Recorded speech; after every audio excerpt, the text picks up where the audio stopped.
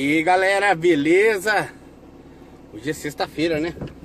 De tomar uma. Deixa eu me acertar aqui, galera. Pro mar aqui que nós já conversa. Primeiramente, os 30 segundinhos no merchandise aí. CRC, roteirização, agilidade, facilidade, economia no seu caminho. Você que trabalha com diversas entregas, diversos pontos de parada, funcionário é, Busca de crianças de escola, você que trabalha com grande volume de visita, entrega em grandes capitais, adquira o software da CR6. Você não precisa instalar nada no seu computador. De qualquer terminal você tem acesso ao software da CRC que vai te dar uma economia muito grande, economia de se você roda 700 km no dia, você vai ter uma economia de 220 km por dia em geral, na capital São Paulo, Salvador, Rio de Janeiro e isso é no mundo todo. CRC, roteirização, futuro. Você adquire o software, vou deixar os dados aí embaixo, os links, telefone, Alexandre, para você que trabalha com esse sistema de roteirização, você vai economizar com é, peça, vai economizar com fadiga de trabalho, vai, vai ganhar muito mais trabalhando com um sistema sofisticado de de roteirização, que é um, um, um software que vai organizar todas as suas entregas, seus produtos, vai as suas visitas. Isso vai te agilizar um monte a sua vida, você vai facilitar pra caramba. Dá uma ligada lá, pergunta pro Alexandre, ver como é que funciona, se vale a pena, como que é o sistema de roteirização, para você ter uma maior informação que ele vai te passar todos os dados. Valeu galerinha, beleza? Merchandise? Agora falar pra você, olha, se eu tô pra falar uma coisa que a, a gente tá falando isso aqui, mas a gente logo pensa de caminhão. Se tem coisa que você pensa mais, bicho mais estranho que o caminhoneiro tá pra nascer, porque ele na estrada ele acha que ele é o dono de tudo. Antes de mais nada, gente, isso aqui é uma sátira, é uma brincadeira sem ofender nenhum tipo de, de pessoa ou de qualquer estado, é simplesmente uma sátira, uma brincadeira. Antes que alguém fale alguma besteira no comentário. Ouviu, Hunter? Então, você pode ver o, as características de algum tipo de caminhoneiro. O, o, o cara chega no caminhão, no posto de manhã cedo para tomar um café. O, ele já ele não, ele não tem como dar 15 passos para chegar no restaurante. Cai o cu da bunda.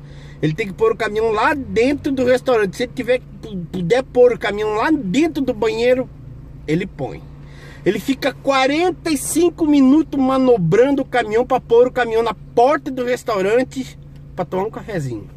Ele não larga o caminhão lá, lá atrás, lá para vir andando ali 3 minutos, 5 minutos. Deus o livre, cai o cu da bunda. Ele não para, ele quer parar na porta do restaurante. Ele para na porta do restaurante e ainda deixa aquele caminhão com aquela fumaceira funcionando. Acordando o posto todinho de manhã cedo. Ele liga, deixa meia hora o caminhão fazendo fumaça e barulho. Não sei para que aquilo. Para esquentar o quê? Aquilo já é uma chaleira, rapaz. Aí ele vai lá para dentro tomar banho, escovar o dente, tomar café e deixa aquele troço ali batendo do lado de você. Chegou 4 horas da manhã, quer dar uma cochilada ali. E o cara chega ali, coloca aquela muriçoca do lado do teu caminhão, você morto de cansado. E fica ali aquele troço. Rapaz do céu, não tem Cristo que aguente.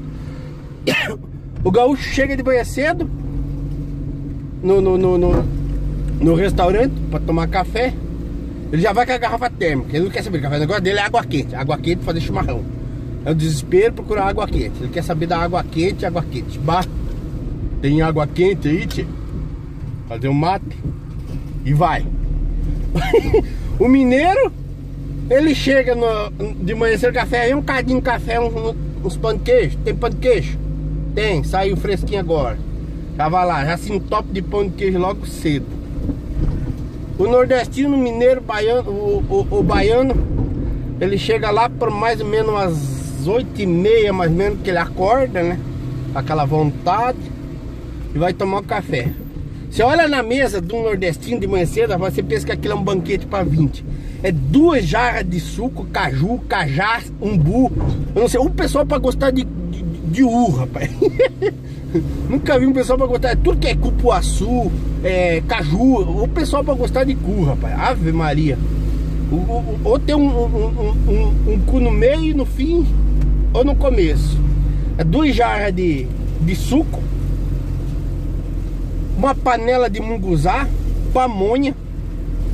Logo ali do lado já tem mais um, uma tigelona de cuscuz, com quatro ovos fritos, um virado de feijão, baião de dois Ali mais, mais pro lado do coisa ali, mais um, uma panela de mocotó com farinha. Rapaz, aquilo parece um banquete, eu nunca vi, logo cedo. Aí ele sai, toma aquele café dele ali, né? Que é mais um banquete e vai. Ali para 11, e já vai pensando no almoço. Ali para as 11, fora que ali tem junto já uma macaxeira uma, com carne seca, um bode assado, alguma coisa assim, tudo ali do café da manhã. Isso lá para 9 horas. Quando dá umas 11 horas, já tá caçando um jeito de deixar um lugar para almoçar. Para parar para almoçar. É inacreditável. O gaúcho, eu não sei o que, que o gaúcho tem com um problema com carne, rapaz. Não pode estar tá num restaurante que 500 tipos de carne. Tem galeto assado, tem é, costela, tem linguiça, tem tudo cupim ele chega lá, o chapeiro já limpou toda a chapa. Ele fala assim, mas bate, não tem como tu fazer uma chuleta aí pra mim? Pense a cara do cara que vai atender, bicho. Tanta carne na porra do buffet. ele chega, não tem como tu fazer uma, uma chuleta lá pra... Eu não sei o que, que ele tem com a chuleta.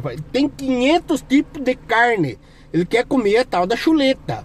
Ele não come outra coisa, é chuleta, tem que ser chuleta. O cara prepara tudo que é tipo de comida.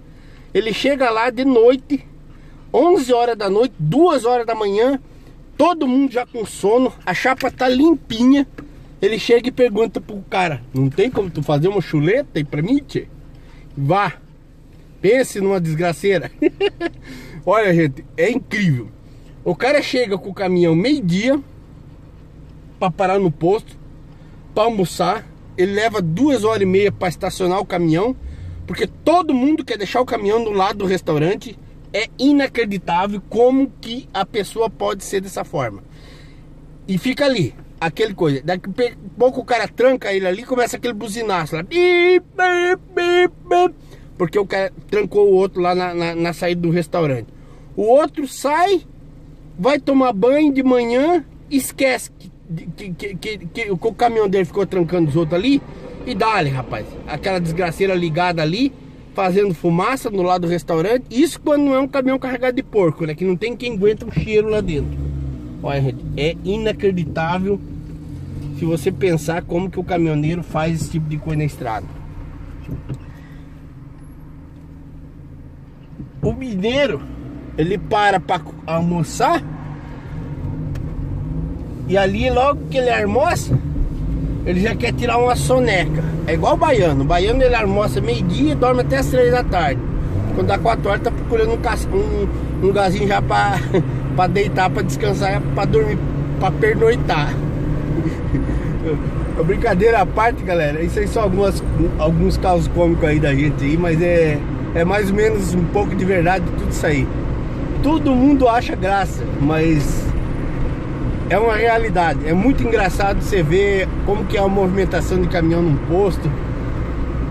Principalmente quando você junta vários é, caminhoneiros de vários estados, de várias culturas. Você passa, para num posto grande, ali você encontra gaúchos, baianos, meus amigos baianos, meus amigos nordestinos, Catarina. É, olha, é incrível. O gaúcho é o melhor parceiro que você pode encontrar na estrada como caminhoneiro. Não existe melhor amigo que o gaúcho. Até ele encontrar outro gaúcho. Daí pronto, você perdeu o amigo.